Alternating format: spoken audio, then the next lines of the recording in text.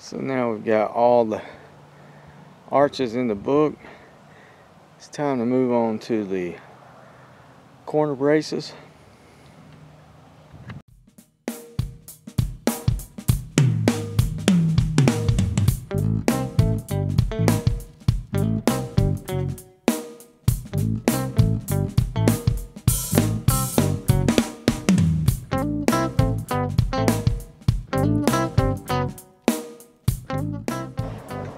So there's four more cross braces that have to go from this, the second hoop, over to the third one.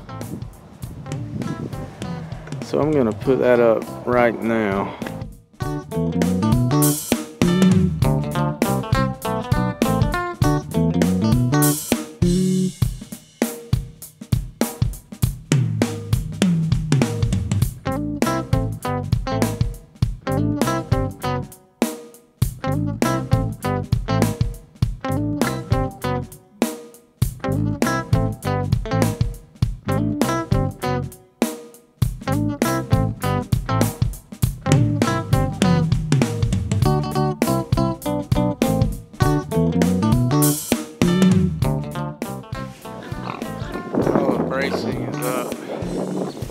I'm gonna start putting on these purlin starters.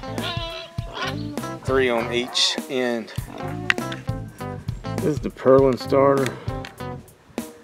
And it mounts on a clamp with a carriage bolt and then the purlin just around tube will slide over that.